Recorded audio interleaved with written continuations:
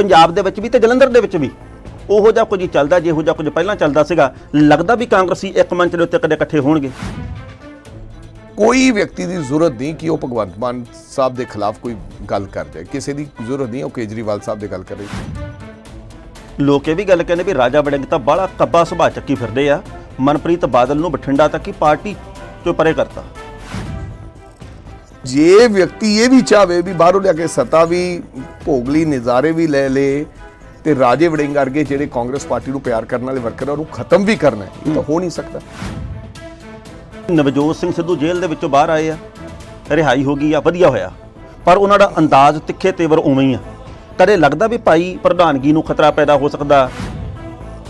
Aam Aadmi party ਨੇ ਤੇ BJP ਨੇ ਇੱਕ ਪਟਾਰਾ ਖੋਲ ਲਿਆ ਵੀ ਜੋ ਸਾਡਾ ਸਮਾਨ ਹੈ ਜਿਹੜਾ ਜਮਾ ਕੰਮ ਦਾ ਨਹੀਂ ਜਿਹਦਾ ਰਿਪੇਅਰ ਵੀ ਨਹੀਂ ਹੋ ਸਕਦਾ ਉਹ ਸਾਰਾ ਲੈ ਕੇ ਜਾ ਰਹੇ। ਸਾਨੂੰ ਉਲਟਾ ਇਸ ਗੱਲ ਦਾ ਫਾਇਦਾ ਕਿ ਸਾਨੂੰ ਆਪ ਭੇਜਣ ਦੀ ਲੋੜ ਨਹੀਂ ਉਹ ਆਪ ਹੀ ਲੈ ਕੇ ਜਾ ਰਹੇ। ਸੁਸ਼ੀਲ ਕੁਮਾਰ ਰਿੰਕੂ ਹੋਰੀਆਂ ਜਿਹੜੇ ਉਹ ਵੀ ਚਲੇ ਗਏ।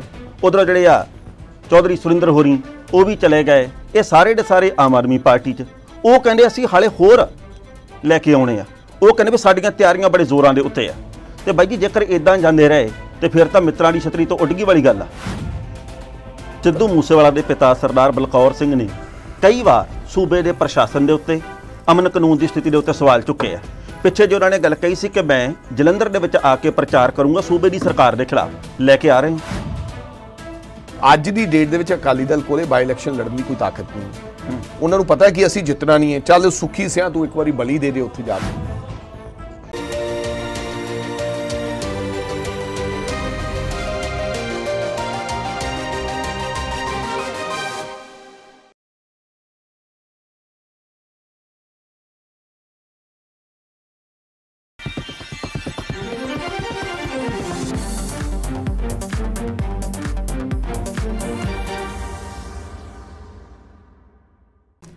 ਸਤਿ ਸ਼੍ਰੀ ਅਕਾਲ ਜੀ, ਤੁਸੀਂ ਪ੍ਰਾਈਮ ਏਸ਼ੀਆ ਟੈਲੀਵਿਜ਼ਨ ਦੇਖ ਰਹੇ ਹੋ। ਦੋਸਤੋ, ਮੈਂ ਹਾਂ ਸਵਰਨ ਸਿੰਘ ਟਹਿਣਾ ਤੇ ਪ੍ਰੋਗਰਾਮ ਪ੍ਰਾਈਮ ਸਪੈਸ਼ਲ ਲੈ ਕੇ ਹਾਜ਼ਰ ਹਾਂ।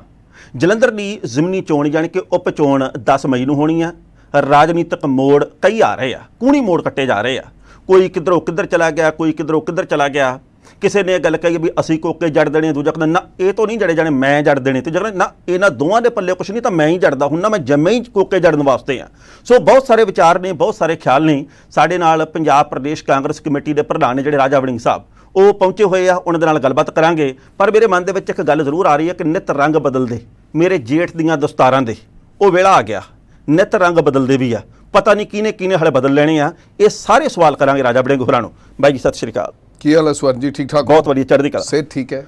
ਜ਼ਿੰਦਾਬਾਦ। ਠੀਕ ਠਾਕ ਹੋ? ਕਿਰਪਾ ਬਹੁਤ। ਮੈਂ ਨਾ ਜਦੋਂ ਤੋਂ ਤੁਸੀਂ ਆਏ ਹੋ ਚਿਹਰਾ ਪੜਨ ਦੀ ਕੋਸ਼ਿਸ਼ ਕਰ ਰਿਹਾ। ਪਰ ਪੜ੍ਹਿਆ ਜਾ ਰਿਹਾ। ਹੱਸਦੇ ਹੋ। ਜਦੋਂ ਔਖੇ ਜੇ ਮੋੜ ਦੇ ਵਿੱਚ ਦੀ ਕਾਂਗਰਸ ਲੰਘਦੀ ਹੋਵੇ ਤੇ ਫਿਰ ਵੀ ਕੋਈ ਹੱਸਦਾ ਹੋਵੇ ਤੇ ਉਦੋਂ ਹੈਰਾਨੀ ਹੁੰਦੀ ਹੈ। ਮੈਨੂੰ ਲੱਗਦਾ ਸੌਖਾ ਮੋੜ ਆਉਣ ਵਾਲਾ ਹੈ। ਵਾਹ। 10 ਮਈ ਤੋਂ ਬਾਅਦ। ਹੂੰ। ਇਸ ਕਰਕੇ ਮੇਰਾ ਹਾਸਾ ਨਹੀਂ ਰੁਕ ਰਿਹਾ। ਅੰਦਰੋਂ ਖੁਸ਼ੀ ਹੈ।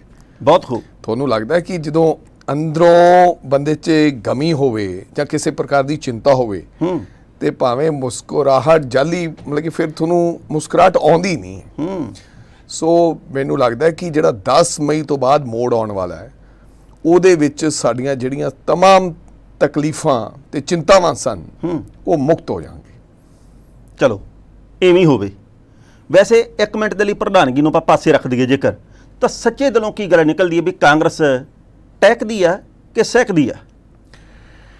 ਦੇਖੋ ਟੈਨਾ ਜੀ ਜਿੱਥੋਂ ਤੱਕ ਤਾਂ ਸਵਾਲ ਹੈਗਾ ਕਾਂਗਰਸ ਪਾਰਟੀ ਦਾ। ਹੂੰ। ਕਾਂਗਰਸ ਪਾਰਟੀ ਤਾਂ ਮੈਂ ਪਹਿਲਾਂ ਕਹਿੰਦਾ ਹੁੰਦਾ ਕਾਂਗਰਸ ਪਾਰਟੀ ਇੱਕ ਪਾਰਟੀ ਨਹੀਂ ਹੈ। ਕਾਂਗਰਸ ਪਾਰਟੀ ਇੱਕ ਸੋਚ ਹੈ ਕਾਂਗਰਸ ਪਾਰਟੀ ਇੱਕ ਵਿਚਾਰ ਹੈ। ਬੇਸ਼ੱਕ ਸਮੇਂ ਦੀਆਂ ਸਰਕਾਰਾਂ ਨੇ ਸਮੇਂ ਨੇ ਕਿਵੇਂ ਨਾ ਕਿਵੇਂ ਉਹਦੇ ਤੇ ਜਿੱਤ ਪ੍ਰਾਪਤ ਕੀਤੀ ਕਾਂਗਰਸ ਪਾਰਟੀ ਨੂੰ ਢਾਹ ਲੱਗੀ। ਲੇਕਿਨ ਜਿਹੜੀ ਕਾਂਗਰਸ ਪਾਰਟੀ ਦੀ ਸੋਚ ਸੀ ਕਿਤੇ ਨਾ ਕਿਤੇ ਅੱਜ ਵੀ ਆਮ ਲੋਕਾਂ ਦੇ ਵਿੱਚ ਉਹ ਜਿਉਂਦਾ ਹੈਗੀ ਹੈ। ਲੋਕ ਇਹ ਮਹਿਸੂਸ ਕਰਦੇ ਸਨ ਦੇਸ਼ ਦੇ ਨਾ ਕੇਵਲ ਪੰਜਾਬ ਦੇ ਕਿ ਕਾਂਗਰਸ ਪਾਰਟੀ ਐਸੀ ਪਾਰਟੀ ਹੈ ਜਿਹੜੀ ਕਿ ਸੈਕੂਲਰ ਸੋਚ ਦੀ ਮਾਲਕ ਹੈ। ਸਭ ਧਰਮਾਂ ਨੂੰ ਸਭ ਲੋਕਾਂ ਨੂੰ ਸਭ ਜਾਤੀਆਂ ਨੂੰ ਨਾਲ ਲੈ ਕੇ ਚੱਲ ਸਕਦੀ ਹੈ। ਤੇ ਦੇਸ਼ ਦੇ ਨੂੰ ਅੱਗੇ ਲੈ ਕੇ ਜਾਣ ਵਾਸਤੇ ਦੇਸ਼ ਦੇ ਵਿਕਾਸ ਦੇ ਵਾਸਤੇ ਦੇਸ਼ ਨੂੰ ਅੱਗੇ ਲੈ ਕੇ ਜਾਣ ਵਾਸਤੇ ਨੈਸ਼ਨਲ ਲੈਵਲ ਇੰਟਰਨੈਸ਼ਨਲ ਲੈਵਲ ਤੇ ਕਾਂਗਰਸ ਪਾਰਟੀ ਕੰਮ ਕਰ ਸਕਦੀ ਹੈ। ਸੋ ਅੱਜ ਮੈਂ ਸਮਝਦਾ ਕਿ ਉਹ ਸੋਚ ਤੇ ਵਿਚਾਰ ਕਦੇ ਖਤਮ ਨਹੀਂ ਹੁੰਦੇ। ਹਾਂ ਬੇਸ਼ੱਕ ਉਹਦੇ ਚ ਸਮੇਂ-ਸਮੇਂ ਸਿਰ ਖੜੌਤ ਆਉਂਦੀ ਰਹੀ। ਅੱਜ ਕੱਲ ਦੀਆਂ ਜਿਹੜੀਆਂ ਨਵੀਆਂ ਰਾਜਨੀਤਿਕ ਪਾਰਟੀਆਂ ਇਹਨਾਂ ਨੇ ਹਰ ਉਹ ਸੰਭਵ ਜਿਹੜੇ ਅਖਤਿਆਰ ਅਪਣਾਏ ਜਿਨ੍ਹਾਂ ਨਾਲ ਸਾਨੂੰ ਢਾਹ ਲੱਗ ਸਕਦੀ ਸੀ। ਕਾਂਗਰਸ ਕਮਜ਼ੋਰ ਹੋ ਸਕਦੀ ਸੀ। ਏਜੰਸੀਜ਼ ਦਾ ਇਸਤੇਮਾਲ। ਹਾਲਾਂਕਿ ਪਾਰਟੀ ਦੀ ਸਭ ਤੋਂ ਵੱਡੀ ਪੁਰਾਣੀ ਪਾਰਟੀ ਔਰ ਉਹਦਾ ਆਪੋਜੀਸ਼ਨ ਸਭ ਤੋਂ ਵੱਡੀ ਪਾਰਟੀ ਔਰ ਸਭ ਤੋਂ ਵੱਡਾ ਰਾਜਨੀਤਿਕ ਘਰਾਣਾ ਰਾਹੁਲ ਗਾਂਧੀ ਤੱਕ ਵੀ ਛੱਡੇ ਨਹੀਂ ਗਏ। ਉਹਨਾਂ ਨੂੰ ਵੀ ਨਹੀਂ ਛੱਡਿਆ। ਮੈਂ ਮੈਂ ਸਮਝਦਾ ਲੇਕਿਨ ਇਸ ਦੇ ਬਾਵਜੂਦ ਵੀ ਅਸੀਂ ਦੇਸ਼ ਦੇ ਹਰੇਕ ਕੋਨੇ ਦੇ ਵਿੱਚ ਖੜੇ ਹਾਂ। ਖੜੇ ਹਾਂ ਤੇ ਮੈਨੂੰ ਉਮੀਦ ਹੈ ਕਿ ਆਉਣ ਵਾਲੇ ਸਮੇਂ ਦੇ ਵਿੱਚ ਬਹੁਤ ਤੇਜ਼ੀ ਦੇ ਨਾਲ ਇਹਦੇ ਚ ਤਬਦੀਲੀ ਆਏਗੀ। ਔਰ ਜਿੱਥੋਂ ਤੱਕ ਆਪਾਂ ਪੰਜਾਬ ਦੀ ਗੱਲ ਕਰੀਏ ਤੁਸੀਂ ਬੇਸ਼ੱਕ ਕਿਸੇ ਦੇ ਸਾਡੇ ਇੰਟਰਸਟ ਵੱਖਰੇ ਵੱਖਰੇ ਹੋ ਸਕਦੇ ਆ। ਸਾਨੂੰ ਆਪਦੀ ਵੱਖਰੀ ਵੱਖਰੀ ਸੋਚ ਹੋ ਸਕਦੀ ਹੈ ਲੇਕਿਨ ਅੱਜ ਕਾਂਗਰਸ ਪਾਰਟੀ ਦੇ ਹਰ ਲੀਡਰ ਇਹ ਗੱਲ ਨੂੰ ਮਹਿਸੂਸ ਕਰਦਾ ਹੈ ਕਿ ਕਾਂਗਰਸ ਨੂੰ ਅਸੀਂ ਅਗਰ ਪੰਜਾਬ ਬਚਾਉਣਾ ਹੈ ਤਾਂ ਮੁੜ ਕਾਂਗਰਸ ਨੂੰ ਦੁਬਾਰੇ ਅਸੀਂ ਪੰਜਾਬ ਦੇ ਵਿੱਚ ਲੈ ਕੇ ਆਉਣਾ ਹੈ। ਤੇ ਉਹਦੇ ਵਾਸਤੇ ਸਾਨੂੰ ਸਾਰਿਆਂ ਨੂੰ ਇੱਕੋ ਜੀ ਬੋਲੀ ਸਾਨੂੰ ਬੋਲਣੀ ਪਵੇਗੀ, ਬੇਸ਼ੱਕ ਸਾਡੇ ਇੰਟਰਸਟ ਵੱਖੋ ਵੱਖਰੇ ਹੋਣ। ਬਿਲਕੁਲ ਠੀਕ। ਇੱਕੋ ਜੀ ਬੋਲੀ ਬੋਲਣੀ ਪਵੇਗੀ, ਭਾਵੇਂ ਸਾਡੇ ਨਿੱਜੀ ਹਿੱਤ ਹੋਰ ਤਰ੍ਹਾਂ ਦੇ ਹੋਣ, ਪਰ ਇੱਕੋ ਥਾਂ ਦੇ ਉੱਤੇ ਖੜੇ ਹੋ ਕੇ ਇੱਕੋ ਜਿਹਾ ਸਮੂਹਕ ਹੰਬਲਾ ਵੀ ਮਾਰਨਾ ਪਊਗਾ, ਜਿਹੜਾ ਕਿ ਕਾਂਗਰਸ ਦੇ ਵਿੱਚ ਵੜਿੰਗ ਸਾਹਿਬ ਬਹੁਤ ਘੱਟ ਦਿਸਦਾ। ਅੱਜ ਰਾਜਸਥਾਨ ਦੇ ਵਿੱਚ ਵੀ, ਅੱਜ ਹੋਰ ਸੂਬਿਆਂ ਦੇ ਵਿੱਚ ਵੀ, ਪੰਜਾਬ ਦੇ ਵਿੱਚ ਵੀ ਤੇ ਜਲੰਧਰ ਦੇ ਵਿੱਚ ਵੀ। ਉਹੋ ਜਿਹਾ ਕੁਝ ਹੀ ਚੱਲਦਾ, ਜਿਹੋ ਜਿਹਾ ਕੁਝ ਪਹਿਲਾਂ ਚੱਲਦਾ ਸੀਗਾ। ਲੱਗਦਾ ਵੀ ਕਾਂਗਰਸੀ ਇੱਕ ਮੰਚ ਦੇ ਉੱਤੇ ਕਦੇ ਇਕੱਠੇ ਹੋਣਗੇ। ਮੈਨੂੰ ਤਾਂ ਪੂਰਨ ਉਮੀਦ ਹੈ ਅ, ਟੈਣਾ ਸਾਹਿਬ ਮੈਂ ਇਹਦੇ ਵਾਸਤੇ ਲਗਾਤਾਰ ਕੋਸ਼ਿਸ਼ਾਂ ਮੇਰੀਆਂ ਜਾਰੀ ਨੇ ਔਰ ਮੈਨੂੰ ਲੱਗਦਾ ਕਿ ਇਹਦੇ ਤੇ ਆਉਣ ਵਾਲੇ ਸਮੇਂ 'ਚ ਅਸੀਂ ਜਿੱਤ ਪ੍ਰਾਪਤ ਕਰ ਲਾਂਗੇ ਇੱਕ ਮੰਚ ਤੇ तमाम ਲੋਕਾਂ ਨੂੰ ਪੰਜਾਬ ਦਿਆਂ ਨੂੰ ਇਕੱਠੇ ਕਰਕੇ ਲੈ ਕੇ ਆਵਾਂਗੇ ਬੇਸ਼ੱਕ ਰਾਜੇ ਵੜਿੰਗ ਨੂੰ ਨੀਵਾ ਹੋ ਕੇ ਰਾਜੇ ਵੜਿੰਗ ਨੂੰ ਕੁਝ ਵੀ ਕਰਨਾ ਪਵੇ ਲੇਕਿਨ ਮੈਂ ਕੋਸ਼ਿਸ਼ ਕਰਾਂਗਾ ਕਿ ਇੱਕ ਮੰਚ ਤੇ तमाम ਸਾਡੇ ਆਉਣ ਵਾਲੇ ਸਮੇਂ 'ਚ ਲੀਡਰ ਇਕੱਠੇ ਹੋਣ ਮੇਰੀ ਕਾਂਗਰਸ ਦੇ ਇੱਕ ਸੀਨੀਅਰ ਨੇਤਾ ਨਾਲ ਪਿਛਲੀ ਦਿਨੀ ਗੱਲ ਹੋਈ ਉਹ ਕਹਿੰਦੇ ਵੀ ਸਾਡੇ ਵਿੱਚ ਉਤਸ਼ਾਹ ਬੜਾ ਹੁੰਦਾ ਸਾਡੇ ਵਰਕਰ ਦੇ ਵਿੱਚ ਉਤਸ਼ਾਹ ਇਸ ਕਰਕੇ ਭਾਂਡੇ ਖੜਕਦੇ। ਮੈਂ ਕਿਹਾ, ਭਾਂਡੇ ਖੜਕਣ ਚਿੱਬ ਨਾ ਪਾਓ। ਭਾਂਡੇ ਖੜਕਦੇ ਰਹਿੰਦੇ ਆ। ਪਰ ਅਸੀਂ ਚਾਹੁੰਦੇ ਜੀ ਕਿ ਤਕੜੇ ਹੋ ਕੇ ਹਮਲਾ ਵੱਜੇ। 10 ਮਈ ਤਰੀਕ ਮਿੱਥੀ ਗਈ ਆ। 10 ਮਈ, ਉਹ ਤਰੀਕ ਜਦੋਂ ਤੁਸੀਂ ਆਪਣੀ ਇਹ ਸੀਟ ਬਚਾਉਣ ਦੀ ਕੋਸ਼ਿਸ਼ ਕਰਨੀ ਆ ਤੇ ਪੰਜਾਬ ਦੀ ਸੱਤਾਧਾਰੀ ਧਿਰ ਨੇ ਇਹ ਸੀਟ ਖੋਣ ਦੀ ਕੋਸ਼ਿਸ਼ ਕਰਨੀ ਆ, ਕਿਹੋ ਜੀ ਯੋਜਨਾ ਉਲੀਕੀ ਆ? ਦੇਖੋ ਟੈਨਾ ਸਾਹਿਬ, ਜਿੱਥੋਂ ਤੱਕ ਪਰਿਵਾਰਕ ਗੱਲ ਹੈ ਹਰ ਪਰਿਵਾਰ ਦੇ ਵਿੱਚ ਤੂ ਤੂ ਮੈਂ ਮੈਂ ਨੁਕਤਾਚੀਨੀ ਹੁੰਦੀ ਰਹਿੰਦੀ ਹੈ। ਲੇਕਿਨ ਅਸੀਂ ਪਿਛਲੇ ਸਮੇਂ ਨਾਲੋਂ ਕਾਫੀ ਸੁਧਾਰ ਆਪਦੇ ਚ ਲੈ ਕੇ ਆਏ ਹਾਂ। ਵੈਸੇ ਤਾਂ ਇਹ ਖੂਬਸੂਰਤੀ ਵੀ ਹੈ ਕਾਂਗਰਸ ਪਾਰਟੀ ਦੀ ਡੈਮੋਕ੍ਰੇਸੀ ਹੈ ਕਿ ਹਰ ਵਿਅਕਤੀ ਆਪਦੀ ਉੱਚੀ ਆਵਾਜ਼ 'ਚ ਆਪਣੀ ਆਵਾਜ਼ ਬੁਲੰਦ ਕਰ ਸਕਦਾ। ਅੱਜ ਦੂਜੀਆਂ ਪਾਰਟੀਆਂ ਦੇ ਵਿੱਚ ਚਾਹੇ ਉਹ ਆਮ ਆਦਮੀ ਪਾਰਟੀ ਹੈ ਚਾਹੇ ਅਕਾਲੀ ਦਲ ਹੈ ਚਾਹੇ ਬੀਜੇਪੀ ਹੈ ਲੋਕ ਡਰੇ ਡਰੇ ਮਹਿਸੂਸ ਕਰ ਰਹੇ ਨੇ। ਕੋਈ ਵਿਅਕਤੀ ਦੀ ਜ਼ਰੂਰਤ ਨਹੀਂ ਕਿ ਉਹ ਭਗਵੰਤ ਮਾਨ ਸਾਹਿਬ ਦੇ ਖਿਲਾਫ ਕੋਈ ਗੱਲ ਕਰ ਜਾਏ। ਕਿਸੇ ਦੀ ਜ਼ਰੂਰਤ ਨਹੀਂ ਉਹ ਕੇਜਰੀਵਾਲ ਸਾਹਿਬ ਦੇ ਗੱਲ ਕਰੇ ਕੋਈ ਸੁਖਬੀਰ ਦੇ ਖਿਲਾਫ ਗੱਲ ਨਹੀਂ ਕਰਦਾ ਸੀ। ਅੱਜ ਜਿਹੜੇ ਲੋਕ ਰੋਜ਼ਾਨਾ ਟਵੀਟ ਕਰਦੇ ਸਨ ਜਿਹੜੇ ਕਾਂਗਰਸ ਚੋਂ ਗਏ ਸ ਗਏ ਉਹ ਅੱਜ ਬੀਜੇਪੀ ਚ ਕੁਸਕ ਨਹੀਂ ਰਹੇ। ਵੈਸੇ ਤਾਂ ਇਹ ਡੈਮੋਕ੍ਰੇਸੀ ਹੈ ਕਿ ਹਰ ਬੰਦਾ ਆਪਦੀ ਆਵਾਜ਼ ਬੁਲੰਦ ਕਰ ਸਕਦਾ। ਲੇਕਿਨ ਜਿੱਥੋਂ ਤੱਕ ਰਾਜਨੀਤੀ ਦੀ ਗੱਲ ਤੁਸੀਂ ਕਹੀ ਕਿ ਕਿੱਦਾਂ ਤੁਸੀਂ ਆਉਣ ਵਾਲੇ ਸਮੇਂ ਜਲੰਧਰ ਜਿਮਨੀ ਚੋਣ ਨੂੰ ਕਿੱਦਾਂ ਤੁਸੀਂ ਲੜੋਗੇ ਚੁਣਾਵ ਸੋ ਮੈਨੂੰ ਲੱਗਦਾ ਹੈ तमाम ਸਾਡੇ ਲੀਡਰ ਸਹਿਬਾਨ ਹੁਣ ਜਲੰਧਰ ਦੀ ਜਿਮਨੀ ਚੋਣ ਇੱਥੇ ਆ ਚੁੱਕੇ ਨੇ ਵੱਖ-ਵੱਖ ਜਗ੍ਹਾ ਤੇ ਅਲੱਗ-ਅਲੱਗ ਲੋਕਾਂ ਨੇ ਆਪਦੇ ਲੀਡਰ ਸਹਿਬਾਨਾਂ ਨੇ ਸਾਡੇ ਏਰੀਆਜ਼ ਵੰਡ ਲਏ ਨੇ ਸਾਂਭ ਲਏ ਨੇ ਔਰ ਅ, ਮੈਨੂੰ ਲੱਗਦਾ ਹੈ ਕਿ ਪੂਰਨ ਜਿਵੇਂ ਇੱਕ ਅ, ਵਿਉਂਤਬੰਦੀ ਦੇ ਨਾਲ ਵਿਅਕਤੀ ਆਪਦੀ ਚੁਣਾਵ ਲੜਦਾ ਹੈ ਅਸੀਂ ਉਨੀ ਤਿਆਰੀ ਦੇ ਨਾਲ ਹੀ ਜਲੰਧਰ ਦੇ ਵਿੱਚ ਆਏ ਹਾਂ ਔਰ ਇਸ ਤਰ੍ਹਾਂ ਨਹੀਂ ਕਿ ਕੱਲੀ ਤਿਆਰੀ ਤਿਆਰੀ ਹੈ ਰਿਸਪੌਂਸ ਵੀ ਕਾਫੀ ਹੈ। ਮੈਂ ਜਲੰਧਰ ਵੈਸਟ ਦੀ ਗੱਲ ਕਰਦਾ ਮੈਂ ਅਗਲੇ 2 ਦਿਨਾਂ ਤੋਂ ਮੈਂ ਜਲੰਧਰ ਵੈਸਟ ਘੁੰਮ ਰਿਹਾ। ਕਾਫੀ ਵੱਡਾ ਉਤਸ਼ਾਹ ਜਿਹੜਾ ਆਮ ਲੋਕਾਂ 'ਚ ਵੇਖਣ ਨੂੰ ਮਿਲਿਆ ਕਿਉਂਕਿ ਲੋਕ ਸਮਝਦੇ ਆ ਕਿ ਜੀਰੇ ਖਿਲਾਫ ਅਸੀਂ ਲੋਕਾਂ ਨੂੰ ਜਿਤਾਇਆ ਸੀ। ਅੱਜ ਉਹੀ ਸਾਡੀ ਪਾਰਟੀ ਦੇ ਵਿੱਚ ਆ ਗਿਆ। ਦੂਸਰੇ ਥੋੜਾ ਜੇ ਰੁੱਸੇ ਰੁੱਸੇ ਜੇ ਮਹਿਸੂਸ ਕਰ ਰਹੇ ਆ ਉਹਨਾਂ ਨੂੰ ਇਹ ਲੱਗਦਾ ਕਿ ਸਾਡੀ ਅਣਦੇਖੀ ਹੋਈ ਹੈ ਸਾਡੇ ਨੂੰ ਬਿੜਾ ਪੁੱਛੇ ਸਾਡੇ ਤੇ ਜ਼ਾਸਤੀ ਹੋਈ ਹੈ। ਹਰਾਏ ਹੋਏ ਲੋਕਾਂ ਨੂੰ ਸਾਡੇ ਉੱਪਰ ਲਿਆ ਕੇ ਬਿਠਾ ਦਿੱਤਾ ਗਿਆ। ਸੋ ਮੈਨੂੰ ਲੱਗਦਾ ਹੈ ਨਤੀਜੇ ਚੰਗੇ ਆਉਣਗੇ ਤੇ ਤਿਆਰੀ ਦੇ ਨਾਲ ਅਸੀਂ ਸਭ ਲੋਕ ਜਲੰਧਰ ਹੁਣ ਅੱਡਾ ਲਾ ਲਿਆ ਹੁਣ 10 ਮਈ ਤੋਂ ਬਾਅਦ ਹੀ ਜਲੰਧਰ ਤੋਂ ਮੁੜ ਵਾਪਸੀ ਹੋਏਗੀ। ਬਹੁਤ ਵਧੀਆ। ਪਰ ਗੱਲ ਇਹ ਵੀ ਤੁਹਾਡੀ ਪਾਰਟੀ ਦੇ ਬੰਦੇ ਤਾਂ ਜਿਵੇਂ ਰੇਤ ਮੁੱਠੀ ਦੇ ਵਿੱਚੋਂ ਕਿਰਦੀ ਹੁੰਦੀ ਕਿਰਦੇ ਹੀ ਜਾਂਦੇ ਆ। ਆ ਜਿਹੜੇ ਸੁਸ਼ੀਲ ਕੁਮਾਰ ਰਿੰਕੂ ਹੋਰੀਆਂ ਜਿਹੜੇ, ਉਹ ਵੀ ਚਲੇ ਗਏ।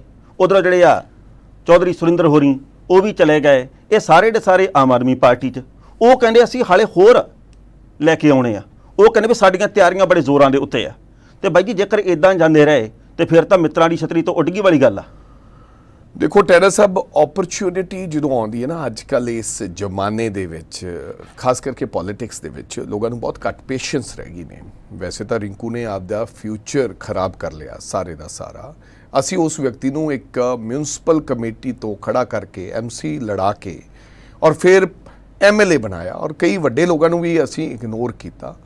ਲੇਕਿਨ ਠੀਕ ਹੈ ਅੱਜ ਲਾਲਚ ਔਰ ਸੱਤਾ ਦੇ ਲਾਭ ਦੇ ਵਿੱਚ ਲਾਹਾ ਲੈਣ ਵਾਸਤੇ ਅੱਜ ਸੁਸ਼ੀਲ ਕੁਮਾਰ ਰਿੰਕੂ ਉਹਨਾਂ ਦੇ ਉਮੀਦਵਾਰ ਹੋ ਗਏ। ਲੇਕਿਨ ਇੱਥੇ ਇਹ ਵੀ ਗੱਲ ਹੈ ਕਿ ਇੱਕ ਅਰਸਾ ਬੀਤ ਜਾਣ ਦੇ ਬਾਅਦ ਇੱਕ ਸਾਲ ਬੀਤ ਜਾਣ ਦੇ ਬਾਅਦ ਜਿੱਥੇ 92 ਸੀਟਾਂ ਹੋਣ ਵੱਡਾ ਮੈਂਡੇਟ ਹੋਵੇ ਮੈਂਡੇਟ ਹੋਵੇ ਦੂਸਰੀਆਂ ਪਾਰਟੀਆਂ ਖੜੋਤ ਦੇ ਵਿੱਚ ਹੋਣ। ਇਸ ਦੇ ਬਾਵਜੂਦ ਵੀ ਆਮ ਆਦਮੀ ਪਾਰਟੀ ਕੋਲੇ ਆਪਦਾ ਉਮੀਦਵਾਰ ਲੱਭ ਨਹੀਂ ਸਕੇ। ਉਹਨਾਂ ਨੇ ਹੁਣ ਵੀ ਕਾਂਗਰਸ ਪਾਰਟੀ ਤੋਂ ਚੰਦ ਦਿਨ ਪਹਿਲਾਂ ਤਲਾਸ਼ਣ ਦੀ ਵਿਅਕਤੀ ਕੋਸ਼ਿਸ਼ ਕੀਤੀ ਤੇ ਉਹ ਲੈ ਕੇ ਗਏ ਹੈ। ਸੁਰਿੰਦਰ ਦੀ ਤੁਸੀਂ ਗੱਲ ਕਰ ਲਓ।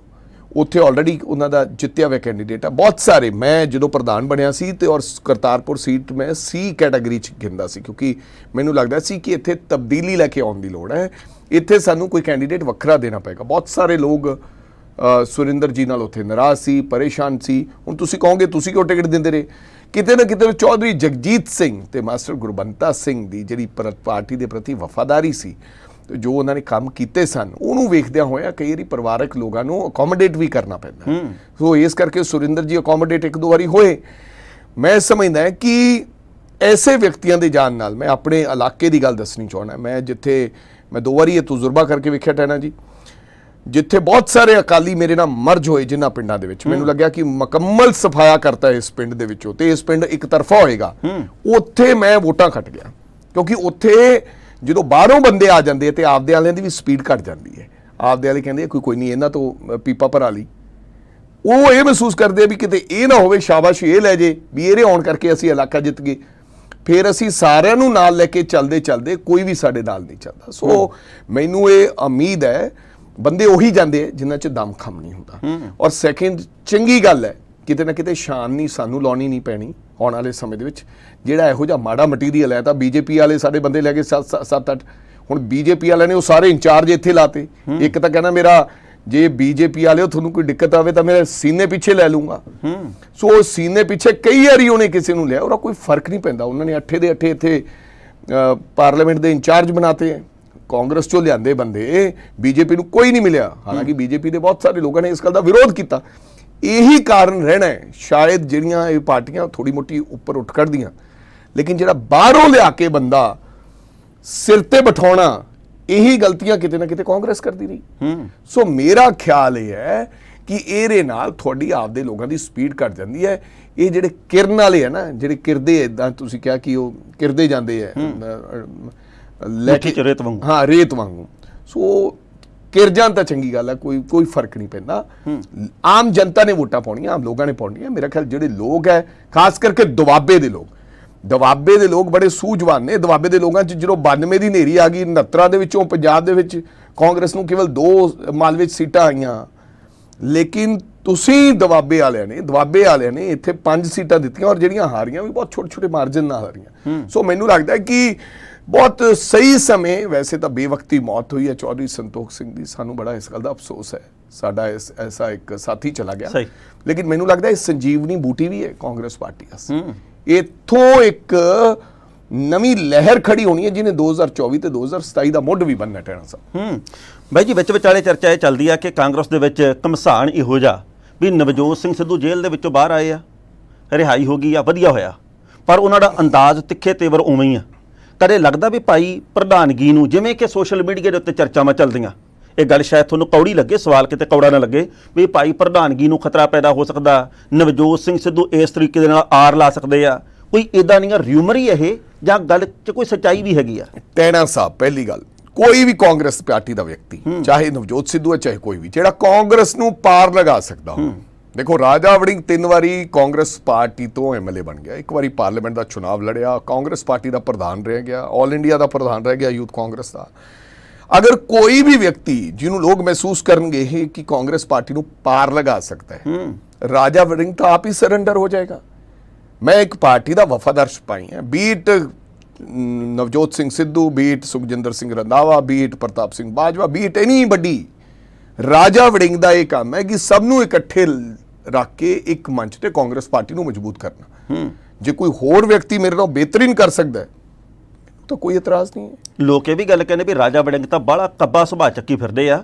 ਮਨਪ੍ਰੀਤ ਬਾਦਲ ਨੂੰ ਬਠਿੰਡਾ ਤੱਕ ਹੀ ਪਾਰਟੀ ਤੋਂ ਪਰੇ ਕਰਤਾ। ਦੇਖੋ ਮੈਂ ਮੈਂ ਤਾਂ ਉਹਨਾਂ ਨੂੰ ਪਰੇ ਨਹੀਂ ਕੀਤਾ। ਤੁਸੀਂ ਦੇਖੋ ਕਿ 5 ਸਾਲ ਜਿਸ ਵਿਅਕਤੀ ਨੂੰ ਮੈਂ ਹਰਾਇਆ ਹੋਵੇ ਜਿਸ ਵਿਅਕਤੀ ਨੂੰ 19000 ਵੋਟਾਂ ਨਾਲ ਰਾਜੇ ਵੜਿੰਗ ਨੇ ਹਰਾਇਆ ਕਾਂਗਰਸ ਪਾਰਟੀ ਨੇ ਬਾਹਰੋਂ ਲਿਆਂਦੇ ਹੋਏ ਵਿਅਕਤੀ ਨੂੰ ਉਹਨੂੰ ਮੰਤਰੀ ਬਣਾਇਆ ਫਾਈਨਾਂਸ ਮੰਤਰੀ। ਰਾਜਾ ਵੜਿੰਗ ਬਤੌਰ ਵਰਕਰ ਕੰਮ ਕਰਦਾ ਰਿਹਾ। ਕਦੇ ਕੋਈ ਗਿਲਾ ਨਹੀਂ ਕੀਤਾ। ਪਰ ਜੇ ਵਿਅਕਤੀ ਇਹ ਵੀ ਚਾਹਵੇ ਵੀ ਬਾਹਰੋਂ ਲਿਆ ਕੇ ਸਤਾ ਵੀ ਭੋਗਲੀ ਨਜ਼ਾਰੇ ਵੀ ਲੈ ਲੇ ਤੇ ਰਾਜੇ ਵੜਿੰਗ ਵਰਗੇ ਜਿਹੜੇ ਕਾਂਗਰਸ ਪਾਰਟੀ ਨੂੰ ਪਿਆਰ ਕਰਨ ਵਾਲੇ ਵਰਕਰ ਉਹਨੂੰ ਖਤਮ ਵੀ ਕਰਨਾ ਇਹ ਤਾਂ ਹੋ। ਨਹੀਂ ਸਕਦਾ। ਫਿਰ ਸੱਚੇ ਪਾਤਸ਼ਾਹ ਨੇ ਕੀਤਾ ਬੰਦਾ ਪਾਉਂਦੇ ਨੂੰ ਕੌਣ ਹੈ? ਟੈਣਾ ਸਾਹਿਬ।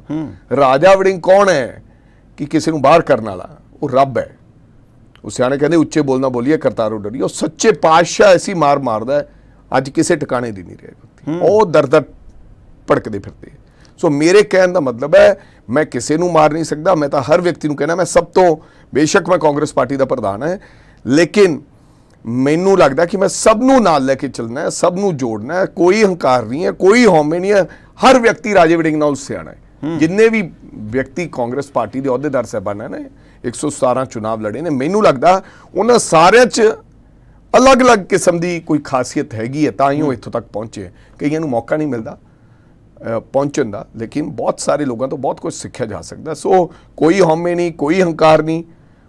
ਮੈਂ ਤਾਂ ਹੱਥ ਜੋੜ ਕੇ ਬੇਨਤੀ ਕਰਦਾ ਕਿ ਆਪਾਂ ਕਾਂਗਰਸ ਪਾਰਟੀ ਨੂੰ ਮਜ਼ਬੂਤ ਕਰਨਾ। ਔਰ ਤੁਸੀਂ ਪ੍ਰਧਾਨਗੀ ਦੀ ਗੱਲ ਕਰਦੇ ਹੋ ਮੈਂ ਤਾਂ ਲੱਖ ਵਾਰੀ ਇਹੋ ਜੀਆਂ ਪ੍ਰਧਾਨੀਆਂ ਤਿਆਗਣ ਨੂੰ ਤਿਆਰ ਹੈ। ਲੇਕਿਨ। ਮੈਂ ਇਹ ਚਾਹਣਾ ਹੈ ਕਿ ਮੇਰੀ ਪਾਰਟੀ ਨੂੰ ਅੱਗੇ ਲੈ ਕੇ ਜਾਣ ਵਾਲਾ ਕੋਈ ਵਿਅਕਤੀ ਹੋਣਾ ਚਾਹੀਦਾ ਲੇਕਿਨ ਵਿਅਕਤੀ ਵਿਸ਼ੇਸ਼ ਨੂੰ ਨਹੀਂ ਆਪ ਦੀ ਗੱਲ ਨਾ ਕਰੇ ਪਾਰਟੀ ਦੀ ਗੱਲ ਕਰੇ ਕਾਂਗਰਸ ਪਾਰਟੀ ਦੀ ਗੱਲ ਕਰੇ। ਰਾਜਾ ਵੜਿੰਗ ਜੋ ਵੀ ਹੈ ਰਾਜਾ ਵੜਿੰਗ ਦਾ ਜੋ ਵਜੂਦ ਹੈ ਕਾਂਗਰਸ ਪਾਰਟੀ ਕਰਕੇ ਹੈ ਨਾ ਕਿ ਰਾਜਾ ਵੜਿੰਗ ਕਰਕੇ। ਰਾਜਾ ਵੜਿੰਗ ਕਰਕੇ ਕਾਂਗਰਸ ਪਾਰਟੀ ਨਹੀਂ ਕਾਂਗਰਸ ਪਾਰਟੀ ਕਰਕੇ ਰਾਜਾ ਵੜਿੰਗ ਹੈ। ਇਹ ਬੜੇ ਬੜੇ ਲੋਕਾਂ ਦਾ ਭਲੇਖਾ ਨਿਕਲਿਆ ਕੈਪਟਨ ਅਮਰਿੰਦਰ ਸਿੰਘ ਵਰਗੇ ਦਾ। ਔਰ ਜਿਹੜਾ ਵੀ ਵਿਅਕਤੀ ਆਵੇ ਬੀਟ ਐਨੀ ਵੱਡੀ ਰਾਜਾ ਵੜਿੰਗ ਉਹਦਾ ਸਿਰ ਝੁਕਾ ਕੇ ਸਵਾਗਤ ਕਰੇ। ਅਸੀਂ ਕਿਤਾਬਾਂ ਦੇ ਵਿੱਚ ਪੜ੍ਹਦੇ ਰਹੇ ਹਾਂ ਕਿ ਸ਼ਾਹ ਮੁਹੰਮਦ ਦਾ ਇੱਕ ਸਰਦਾਰ ਬਾਜੋਂ ਫੌਜਾਂ ਜਿੱਤ ਕੇ ਅੰਤ ਨੂੰ ਹਾਰੀਆਂ ਨੇ। ਕਦੇ ਕਦੇ ਇਉਂ ਲੱਗਦਾ ਵੀ ਰਾਜਨੀਤਿਕ ਪਾਰਟੀਆਂ ਦੇ ਵਿੱਚ ਕੋਈ ਤੱਕੜ ਇਹੋ ਜਿਹਾ ਬੰਦਾ ਅਗਵਾਈ ਕਰਨ ਵਾਲਾ ਜਿਹੜਾ ਸਾਰਿਆਂ ਨੂੰ ਕਵੇ ਵੀ ਆਜੋ ਬਗਲਗੀਰ ਹੋ ਜਾਓ। ਆਜੋ ਯਾਰ, ਮੈਂ ਹੈਗਾ। ਤੁਹਾਡੀ ਭੀੜ ਮੇਰੇ ਉੱਤੇ ਪੈ ਜੇ, ਕੋਈ ਗੱਲ ਨਹੀਂ। ਕੋਈ ਰਾਜਨੀਤੀ ਦੇ ਵਿੱਚੋਂ ਇਹੋ ਜਿਹੀਆਂ ਚੀਜ਼ਾਂ ਅਲੋਪ ਕਿਉਂ ਹੋਈ ਜਾਂਦੀਆਂ? ਸਾਰੇ ਆਪਣੇ ਨਿੱਜੀ ਹਿੱਤ, ਚਾਰ ਜਣੇ ਖੜੇ ਹੁੰਦੇ ਆ ਤੇ ਪੰਜ ਧੜੇ ਬਣੇ ਹੁੰਦੇ ਆ। ਅੱਠ ਜਣੇ ਖੜੇ ਹੁੰਦੇ ਆ 10 ਧੜੇ ਬਣੇ ਹੁੰਦੇ ਆ। ਇਹ ਪਿਰਤ ਕਦੋਂ ਖਤਮ ਹੋਊਗੀ? ਲੋਕਾਂ ਨੂੰ ਇਹ ਗੱਲ ਕਹੀ ਜਾਂਦੀ ਵੀ ਇੱਕ ਹੋ ਜਾਓ ਇੱਕ ਹੋ ਕੇ ਵੋਟਾਂ ਪਾਓ ਆਪ ਤਾਂ ਹੋ ਜਾਓ। ਮੈਂ ਇਹ ਨਹੀਂ ਗੱਲ ਕਹਿੰਦਾ ਕਾਂਗਰਸ ਨੂੰ ਬਾਕੀ ਪਾਰਟੀਆਂ ਨੂੰ ਵੀ ਇਹ ਗੱਲ ਕਹਿਣਾ ਵੀ ਯਾਰ ਸਾਰੇ ਹੀ ਹੋ ਜਾਓ ਇੱਕ ਹਾਂ ਬਿਲਕੁਲ। ਮੇਰਾ ਖਿਆਲ ਸਮੇਂ ਨਾਲ ਨਾ ਬਹੁਤ ਉਤੇਜਨਾ ਆ ਗਈ ਟੈਨਾ ਸਾਹਿਬ। ਸਵਾਰਥੀ ਹੋ ਗਏ ਲੋਕ। ਲੋਕਾਂ ਨੂੰ ਲੱਗਦਾ ਕਿ ਸਭ ਕੁਝ ਬਹੁਤ ਛੇਤੀ ਮਿਲ ਜਾਏ। ਹਰ ਵਿਅਕਤੀ ਨੂੰ ਲੱਗਦਾ ਕਿ ਮੈਂ ਮੈਂ ਇਸ ਕੁਰਸੀ ਤੇ ਪਹੁੰਚ ਗਿਆ ਤਾਂ ਮੈਂ ਬਿਨਾ ਮੁੱਖ ਮੰਤਰੀ ਦੀ ਕੁਰਸੀ ਤੋਂ ਮੇਰਾ ਗੁਜ਼ਾਰਾ ਹੀ ਨਹੀਂ। ਵੀ ਬਿਨਾ ਉਸ ਕੁਰਸੀ ਤੋਂ ਮੇਰਾ ਗੁਜ਼ਾਰਾ ਹੀ ਨਹੀਂ ਨਹੀਂ ਉਸ ਕੁਰਸੀ ਤੋਂ ਬਿਨਾ ਵੀ ਗੁਜ਼ਾਰਾ ਹੈ। ਬਹੁਤ ਸਾਰੇ ਲੋਕ ਹੈ ਕਿੰਨੀਆਂ ਕੁਰਸੀਆਂ ਦੇਸ਼ ਦੇ ਅੰਦਰ ਉਹ? ਬਹੁਤ ਘੱਟ ਹੈ। ਬਹੁਤ ਸਾਰੇ ਲੋਕ ਉਸ ਕੁਰਸੀ ਤੋਂ ਬਿਨਾ ਵੀ ਗੁਜ਼ਾਰਾ ਕਰਦੇ। ਜਿਹੜੇ ਐਮਐਲਏ ਨਹੀਂ ਉਹ ਕਿਦਾਂ ਗੁਜ਼ਾਰਾ ਕਰਦੇ? ਐਮਐਲਏ ਤਾਂ 117 ਹੀ ਨੇ। ਸੋ ਇਹ ਜਿਹੜੀ ਵੱਧ ਰਹੀ ਉਤੇਜਨਾ ਹੈ ਨਾ। ਜਲਦਬਾਜ਼ੀ ਕਾਲੀ ਇਹ ਕਾਲੀ ਦੇ ਸੌਦੇ। ਇਹ ਜਿਹੜੇ ਕੁਝ ਲੀਡਰ ਸਹਿਬਾਨਾਂ ਨੂੰ ਬਹੁਤ ਸਾਰੀ ਕਾਲੀ ਲੱਗਦੀ ਹੈ ਫਿਰ ਉਹ ਆਪਦੀ ਗੱਦੀ ਕੰਧ ਚ ਮਾਰਦੇ ਹੈ। ਸੋ ਮੈਨੂੰ ਲੱਗਦਾ ਕਿ ਸਬਰ ਸ਼ੁਕਰ ਨਾਲ ਖਾ ਲਓ ਤਾਂ ਜਿਹੜੀ ਮੌਲਾ ਦੇ ਦੇਵੇ। ਮੌਲਾ ਦੇ ਦੇਵੇ। ਉਹ ਸਬਰ ਤੇ ਸ਼ੁਕਰ ਬੜਾ ਜ਼ਰੂਰੀ ਹੈ। ਤਾਂ ਸ਼ੁਕਰਾਨਾ ਕਰਨਾ ਵੀ ਜਿੱਥੇ ਰੱਬਾ ਤੂੰ ਹੈਗਾ ਤੂੰ ਸਾਨੂੰ ਰੱਖਿਆ। ਬਹੁਤ ਮੁੱਢ ਦੇ ਵਿੱਚ ਮੈਂ ਗੱਲ ਕਹੀ ਵੀ ਨਿਤ ਰੰਗ ਬਦਲਦੇ ਮੇਰੇ ਜੇਠ ਦੀਆਂ ਦਸਤਾਰਾਂ ਦੇ। ਤੁਸੀਂ ਕਿੰਨੀਆਂ ਕੁ ਦੀਆਂ ਦਸਤਾਰਾਂ ਦੇ ਰੰਗ ਬਦਲਵਾ ਰਹੇ ਹੋ ਹੁਣ? ਨਹੀਂ ਮੈਨੂੰ ਤਾਂ ਨਹੀਂ ਲੱਗਦਾ। ਮੈਂ ਤਾਂ ਇਹ ਜਿਨ੍ਹਾਂ ਨੇ ਜਾਣਾ ਹੈ ਉਹਨਾਂ ਵਾਸਤੇ ਬਾਜ਼ਾਰ ਖੁੱਲਾ ਪਿਆ ਹੈ। ਹੂੰ। ਜਿਨ੍ਹਾਂ ਨੇ ਜਾਣਾ ਹੈ। ਲੇਕਿਨ ਮੈਨੂੰ ਲੱਗਦਾ ਕਿ ਜਿਹੜੇ ਚੰਗੇ ਲੋਕ ਹੈ ਜਿਨ੍ਹਾਂ ਨੂੰ ਜਿਨ੍ਹਾਂ 'ਚ ਸਹਿਨਸ਼ੀਲਤਾ ਤੇ ਸਬਰ ਹੈ ਉਹ ਕਾਂਗਰਸ ਪਾਰਟੀ ਨੂੰ ਪਿਆਰ ਕਰਦੇ ਆ ਵੀ ਰਹੇ ਆ। ਔਰ ਬਥੇਰੇ ਲੋਕ ਹੈ ਜਿਹੜੇ ਆਉਣ ਦੀ ਇੱਛਾ ਰੱਖਦੇ ਲੇਕਿਨ ਮੈਂ ਇਹ ਚਾਹੁੰਦਾ ਕਿ ਕੁਆਂਟੀਟੀ ਨਹੀਂ ਇਕੱਠੀ ਕਰਨੀ। ਹੂੰ। ਕੁਆਲਿਟੀ ਕਰ ਇਕੱਠੀ ਕਰ ਲਓ। ਕੁਆਂਟੀਟੀ ਦਾ ਕੋਈ ਫਾਇਦਾ ਨਹੀਂ। ਪਹਿਲਾਂ ਹੀ ਕੁਆਂਟੀਟੀ ਨਾਲ ਤਾਂ ਭਰੇ ਪਏ ਹੈ ਕੁਆਲਿਟੀ ਹੋਣ ਲੇਕਿਨ ਭਾਵੇਂ ਘੱਟ ਹੋਣ। ਜ਼ਰੂਰੀ ਨਹੀਂ ਹੈ ਕਿ ਜਿਵੇਂ ਆਮ ਆਦਮੀ ਪਾਰਟੀ ਨੇ ਤੇ ਬੀਜੇਪੀ ਨੇ ਇੱਕ ਪਟਾਰਾ ਖੋਲ ਲਿਆ ਵੀ ਜੋ ਸਾਡਾ ਸਮਾਨ ਹੈ ਜਿਹੜਾ ਜਮਾ ਕੰਮ ਦਾ ਨਹੀਂ ਜਿਹਦਾ ਰਿਪੇਅਰ ਵੀ ਨਹੀਂ ਹੋ ਸਕਦਾ ਉਹ ਸਾਰਾ ਲੈ ਕੇ ਜਾ ਰਹੇ ਹੈ ਹੂੰ। ਸਾਨੂੰ ਉਲਟਾ ਇਸ ਗੱਲ ਦਾ ਫਾਇਦਾ ਕਿ ਸਾਨੂੰ ਆਪ ਭੇਜਣ ਦੀ ਲੋੜ ਨਹੀਂ ਉਹ ਆਪ ਹੀ ਲੈ ਕੇ ਜਾ ਰਹੇ ਚੌਧਰੀ ਸੁਰਿੰਦਰ ਤੋਂ ਕੀ ਭਾਲਦੇ ਨੇ? ਕੀ ਭਾਲਦੇ ਨੇ ਲੋਕ ਮਨਪ੍ਰੀਤ ਬਾਦਲ ਤੋਂ? ਇਹਨਾਂ ਲੋਕਾਂ ਨੇ ਕੀ ਕਿਸੇ ਦਾ ਕਰ ਦੇਣਾ? ਸੋ ਇਹ ਲੋਕ ਇਹੋ ਜਿਹੇ ਲੋਕਾਂ ਵਾਸਤੇ ਸਾਡੀ ਪਾਰਟੀ ਦੇ ਵਿੱਚ ਕੋਈ ਜਗ੍ਹਾ ਨਹੀਂ ਹੈ। ਹਾਂ ਚੰਗੇ ਲੋਕਾਂ ਵਾਸਤੇ ਹਮੇਸ਼ਾ ਦਰਵਾਜ਼ੇ ਹੈ।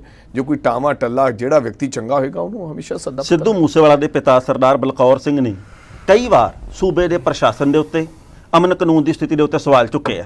ਪਿੱਛੇ ਜੋ ਉਹਨਾਂ ਨੇ ਗੱਲ ਕਹੀ ਸੀ ਕਿ ਮੈਂ ਜਲੰਧਰ ਦੇ ਵਿੱਚ ਆ ਕੇ ਪ੍ਰਚਾਰ ਕਰੂੰਗਾ ਸੂਬੇ ਦੀ ਸਰਕਾਰ ਦੇ ਖਿਲਾਫ। ਲੈ ਕੇ ਆ ਰਹੇ ਹਾਂ? ਦੇਖੋ ਟੈਨਾ ਜੀ ਮੈਂ ਇਹੋ ਜਿਹੇ ਸਮੇਂ ਕਿਸੇ ਵੀ ਪਰਿਵਾਰ ਨਾਲ ਮੈਂ ਅੱਜ ਤੱਕ ਹੀ ਸਰਦਾਰ ਬਲਕਾਰ ਸਿੰਘ ਜੀ ਨਾਲ ਕਦੇ ਕੋਈ ਰਾਜਨੀਤਿਕ ਗੱਲ ਨਹੀਂ ਕਰਦਾ ਕਿਉਂਕਿ ਬੇਸ਼ੱਕ ਮੈਂ ਕਾਂਗਰਸ ਪਾਰਟੀ ਦਾ ਪ੍ਰਧਾਨ ਹਾਂ ਕਿਤੇ ਰੱਬ ਨੂੰ ਜਾਣ ਦੇਣੀ ਜਿਸ ਵਿਅਕਤੀ ਦਾ ਪੁੱਤ ਗਿਆ ਹੋਵੇ ਉੱਥੇ ਇੱਕ ਰਾਜਨੀਤਿਕ ਵਿਅਕਤੀ ਆਪਦੀ ਰਾਜਨੀਤੀ ਖੇਡੇ ਮੈਨੂੰ ਲੱਗਦਾ ਉਹਨੂੰ ਰੱਬ ਨੇ ਮਾਫ ਨਹੀਂ ਕਰਨਾ ਬੇਸ਼ੱਕ ਬਲਕੌਰ ਸਿੰਘ ਨੂੰ ਇਸ ਗੱਲ ਦਾ ਪਤਾ ਲੱਗੇ ਨਾ ਲੱਗੇ। ਜੀ।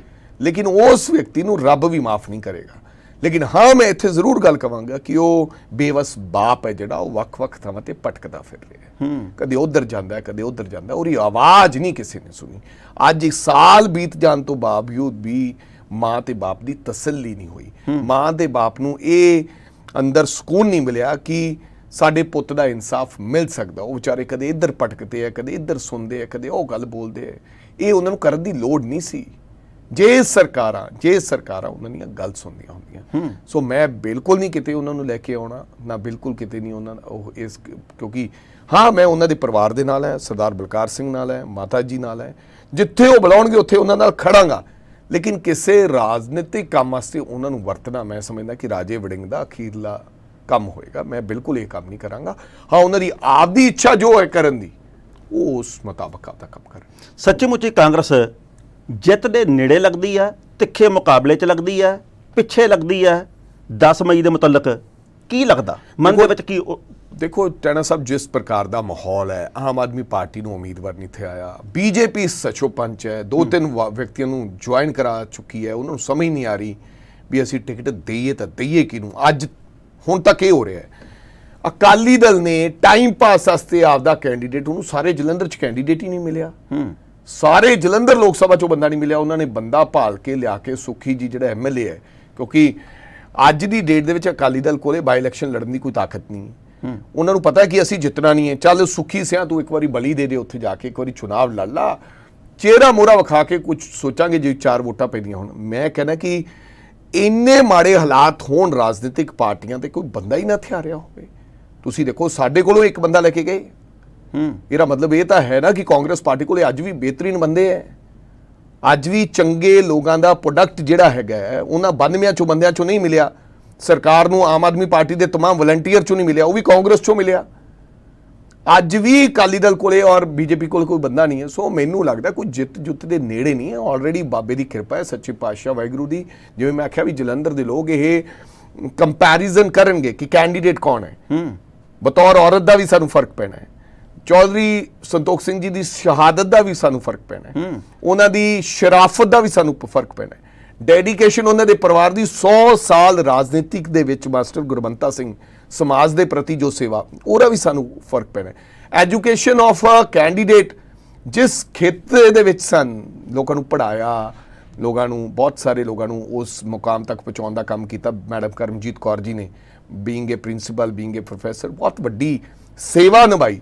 ਸੋ ਮੈਨੂੰ ਲੱਗਦਾ ਇਹ तमाम ਜਿਹੜੀਆਂ ਗੱਲਾਂ ਹੈ ਦੂਜਿਆਂ ਨਾਲੋਂ ਕਿਉਂਕਿ ਅਗਰ ਪੁਆਇੰਟ ਵਾਈਜ਼ ਪੁਆਇੰਟ ਵੇਖੋਗੇ ਤਾਂ ਸਾਡੇ ਹਿੱਸੇ 'ਚ ਜ਼ਿਆਦਾ ਪੁਆਇੰਟ ਬੈਠ ਰਹੇ ਨੇ ਕਿ ਸਾਡਾ ਉਮੀਦਵਾਰ ਇਸ ਕਰਕੇ ਅਸੀਂ ਸੋਚ ਰਹੇ ਹਾਂ ਵੀ ਸਾਡਾ ਉਮੀਦ ਤੁਸੀਂ ਰਿੰਕੂ ਦਾ ਕੰਪੈਰੀਜ਼ਨ ਕਰਮਜੀਤ ਕੌਰ ਨਾਲ ਕਦ ਕਰੋਗੇ ਕਿਵੇਂ ਕਿਸ ਹਿਸਾਬ ਨਾਲ ਕਰੋਗੇ ਕਰਮਜੀਤ ਅ, ਕੌਰ ਦਾ ਤੇ ਰਿੰਕੂ ਦਾ ਕੰਪੈਰੀਜ਼ਨ ਨੇੜੇ ਤੇੜੇ ਦਾ ਮੁਕਾਬਲਾ ਵੀ ਨਹੀਂ ਹੋਊਗਾ ਪਾਰਲੀਮੈਂਟ ਦੇ ਜਾ ਕੇ ਵਿੱਚ ਗੱਲ ਰੱਖਣੀ ਹੈ ਪਾਰਲੀਮੈਂਟ ਦੇ ਵਿੱਚ ਜਾ ਕੇ ਬੋਲਣਾ ਹੈ ਪਾਰਲੀਮੈਂਟ ਦੇ ਵਿੱਚ ਜਾ ਕੇ ਬਿੱਲ ਪੜ੍ਹਨਾ ਹੈ ਬੇਸ਼ੱਕ ਰਿੰਕੂ ਸਾਡੇ ਨਾਲ ਸੀ ਛੋਟਾ ਭਰਾ ਸੀ।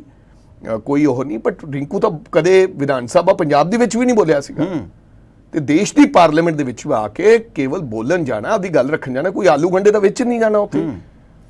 ਸੋ ਦੇ ਅਗਰ ਜਲੰਧਰ ਦੀ ਗੱਲ ਕਰਨੀ ਔਰ ਜਲੰਧਰ ਦੇ ਲੋਕ ਮੈਨੂੰ ਲੱਗਦਾ ਹੈ ਕਿ ਸਮੁੱਚਾ ਇਹ ਫੈਸਲਾ ਪੜ੍ਹੇ ਲਿਖੇ ਲੋਕ ਨੇ ਪੋਲੀਟੀਕਲ ਅਵੇਅਰ ਲੋਕ ਨੇ ਇੱਥੇ ਮੈਂ ਸਮਝਦਾ ਕਿ ਪੰਜਾਬ ਨਾਲੋਂ ਪੂਰੇ ਪੰਜਾਬ ਦੇ ਕੋਨਿਆਂ ਨਾਲੋਂ ਇੱਥੇ ਜ਼ਿਆਦਾ ਅਵੇਅਰਨੈਸ ਹੈ ਮੈਨੂੰ ਲੱਗਦਾ ਠੀਕ ਫੈਸਲਾ ਹੋਣਗੇ। ਫਿਰ ਸਰਕਾਰ ਨੇ ਕੀਤਾ ਵੀ ਕੁਝ ਨਹੀਂ ਆ ਮੈਨੂੰ ਕਿਸੇ ਨੇ ਹੁਣੇ ਭੇਜਿਆ। ਤੁਹਾਡੇ ਚੈਨਲ ਤੇ ਬੈਠੇ ਬੈਠੇ ਹੀ। ਕਹਿੰਦੇ ਸਰਕਾਰ ਨੇ ਕੀਤਾ ਕਹਿੰਦੇ ਕਿ ਬੀਬੀਆਂ ਨੂੰ 1000 ਰੁਪਏ ਮਹੀਨਾ ਮਿਲੇਗਾ ਝੂਠ। ਲੋਕਾਂ ਦੇ ਘਰ ਆਟਾ ਪਹੁੰਚਾਵਾਂਗੇ ਝੂਠ। BMW ਦਾ ਕਾਰਖਾਨਾ ਲੱਗੇਗਾ ਝੂਠ। ਗੋਲਡੀ ਬਰਾੜ ਫੜ ਲਿਆ ਕਹਿੰਦੇ ਝੂਠ। ਅਤਰ ਸਿੰਘ ਮੈਡੀਕਲ ਕਾਲਜ ਹਸਪਤਾਲ ਬਣਾ ਮੈਡੀਕਲ ਹਸਪਤਾਲ ਝੂਠ। ਅਸਲੇ ਵਾਲੇ ਗਾਣੇ ਬੰਦ ਝੂਠ। 3 ਮਹੀਨੇ ਚ ਨਸ਼ਾ ਤੇ ਰਿਸ਼ਵਤ ਬੰਦ ਝੂਠ। ਸਸਤੀ ਰੇਤ ਝੂਠ ਮੂੰਗੀ ਤੇ ਐਮਐਸਪੀ ਝੂਠ ਨੀ ਪੱਥਰਾਂ ਤੇ ਮਿਸਤਰੀਆਂ ਦਾ ਨਾਂ ਝੂਠ ਮੰਤਰੀਆਂ ਦਾ ਨਾਂ। ਗਰਦਾਵਰੀ ਤੋਂ ਪਹਿਲਾਂ ਮੁਆਵਜ਼ਾ ਦੇ ਦਿਆ ਕਰਾਂਗੇ ਅੱਜ ਕਿਸਾਨ ਦਰ-ਦਰ ਭਟਕਦੇ ਫਿਰਦੇ ਐ ਗਰਦਾਵਰੀ ਕਰਨ ਦੀ ਲੋੜ ਨਹੀਂ 20000 ਦੇ ਦਿਆ ਕਰਾਂਗੇ ਝੂਠ। ਵੀਆਈਪੀ ਕਲਚਰ ਖਤਮ ਕਰਨਾ ਝੂਠ। ਸਰਕਾਰ ਨੇ ਹੁਣ ਤੱਕ ਕੀਤਾ ਕੀ ਹੈ? ਸਰਕਾਰ ਨੂੰ ਵੋਟ ਪਾਉਣਗੇ ਕਾਰੇ ਖਿੱਤੇ ਨਾਲ। ਕਿਸ ਗੱਲ ਕਰਕੇ ਪਾਉਣਗੇ? ਤੇ ਰਹਿੰਦਾ ਖੁੰਦਾ ਹਾ ਜਿਹੜਾ ਚਾਮ ਦਾਮ ਅੱਜ ਸੀਆਰਪੀਐਫ 40 ਸਾਲਾਂ ਬਾਅਦ ਮੋੜ ਪੰਜਾਬ ਦੇ ਵਿੱਚ ਸੀਆਰਪੀਐਫ ਕੀ ਹੋਇਆ ਪੰਜਾਬ ਨੂੰ? ਕਿਉਂ ਵੋਟ ਪਾਉਣਗੇ ਆਮ ਆਦਮੀ ਪਾਰਟੀ ਨੂੰ ਲੋਕ? ਮੀਟਿੰਗ ਸਾਹਿਬ ਬਹੁਤ ਚੰਗਾ ਲੱਗਾ ਤੁਸੀਂ ਆਏ ਗੱਲਬਾਤ ਕੀਤੀ। ਤੁਸੀਂ ਨਾ ਵਾਰ-ਵਾਰ ਜਦੋਂ ਫੋਨ ਦੇਖ ਰਹੇ ਸੀਗੇ ਤੇ ਮੇਰੇ ਮਨ ਦੇ ਵਿੱਚ ਸਵਾਲ ਆਇਆ ਕਿਹਾ ਕਿਤੇ ਵੀ ਰਾਹੁਲ ਗਾਂਧੀ ਸਾਹਿਬ ਤਾਂ ਨਹੀਂ ਵਾਰ-ਵਾਰ ਮੈਸੇਜ ਕਰ ਰਹੇ ਵੀ ਅਬ ਆਪ ਟਕਾ ਕਰ ਠੋਕੋ। ਅਰੇ ਠੋਕੋ ਵੀ ਠੋਕੋ ਆਪ ਕੀ ਜ਼ਿੰਮੇਵਾਰੀ ਆ ਵੀ ਠੋਕੋ? ਮੈਂ ਕਿਹਾ ਵੀ ਚਲੋ ਵਧੀਆ ਗੱਲ ਆ ਇਦਾਂ ਦਾ ਵੀ ਜੇਕਰ ਬਲਬਲਾ ਹੋਵੇ ਤਾਂ ਪ੍ਰਗਟਾ ਲੈਣਾ ਚਾਹੀਦਾ। ਆਪ ਟਿਕਾ ਕੇ ਠੋਕੋ। ਹਾਂਜੀ। ਕਿ ਆਪ ਨੂੰ ਠੋਕੋ। ਨਹੀਂ ਨਹੀਂ ਜਿਵੇਂ ਅਰਥ ਜਿਵੇਂ ਮਰਜ਼ੀ ਕੱਢੇ ਜਾ ਸਕਦੇ ਆ, ਪਰ ਅਸੀਂ ਇਹ ਚਾਹੁੰਦੇ ਜੇ ਕਿ ਜਲੰਧਰ ਦੇ ਸੂਝਵਾਨ ਲੋਕ ਆ ਜਿਹੜੇ, ਵੋਟਰ ਆ ਜਿਹੜੇ, ਉਹ ਜਿਹੜਾ ਵੀ ਚੰਗਾ ਸੱਜਣ ਲੱਗਦਾ, ਜਿਹੜਾ ਵੀ ਚੰਗਾ ਭੈਣ ਭਰਾ ਲੱਗਦਾ, ਉਹਨੂੰ ਵੋਟ ਪਾਉਣ। ਆਜ਼ਾਦੀ ਨਿੱਜੀ ਤੌਰ ਦੇ ਉੱਤੇ, ਕਤਾਰ ਦੇ ਵਿੱਚ ਜਿਹਨੇ ਲੱਗਣਾ ਇਹ ਉਹਦੀ ਮਰਜ਼ੀ ਦੇ ਉੱਤੇ ਨਿਰਭਰ ਕਰਨ ਦੀ ਗੱਲ ਆ। ਸਾਰੀਆਂ ਸਿਆਸੀ ਪਾਰਟੀਆਂ ਆਪਣਾ ਵਿਜ਼ਨ ਪੇਸ਼ ਕਰ ਰਹੀਆਂ। ਤੁਹਾਡੇ ਨਾਲ ਮੁਲਾਕਾਤ ਕਰਕੇ ਹਮੇਸ਼ਾ ਚੰਗਾ ਲੱਗਦਾ, ਅੱਜ ਫੇਰ ਚੰਗਾ ਲੱਗਾ। ਬਹੁਤ ਧੰਨਵਾਦ। ਸੋ ਦੋਸਤੋ, ਇਹ ਸਨ ਰਾਜਾ ਵੜਿੰਗ, ਜਿਨ੍ਹਾਂ ਦੇ ਵੱਲੋਂ ਕਿ ਪੰਜਾਬ ਦੇ ਵਿੱਚ, ਜਲੰਧਰ ਦੇ ਵਿੱਚ ਜ਼ਿਮਨੀ ਚੋਣ ਦੇ ਮੁਤਲਕ ਆਪਣੇ ਵਿਚਾਰ ਪੇਸ਼ ਕੀਤੇ ਗਏ ਆ ਵੀ ਕਿਵੇਂ ਕਿਵੇਂ ਚੋਣ ਲੜਾਂਗੇ, ਕੀ ਕੀ ਆਉਂਦੇ ਸਮੇਂ ਦੇ ਵਿੱਚ ਹੋਊਗਾ, ਕੀ ਕੀ ਸਾਡੇ ਮੁੱਦੇ ਹੋਣਗੇ ਤੇ ਕਿੱਥੇ ਜੇ ਕਾਂਗਰਸ ਖੜੀ ਹੈ ਆਸ ਹੈ ਤੁਹਾਨੂੰ ਇਹ ਇੰਟਰਵਿਊ ਪਸੰਦ ਆਈ ਹੋਵੇਗੀ ਆਪਣੇ ਵਿਚਾਰ, ਆਪਣੀ ਫੀਡਬੈਕ ਜ਼ਰੂਰ ਭੇਜਿਓ। ਬਹੁਤ ਬਹੁਤ ਧੰਨਵਾਦ।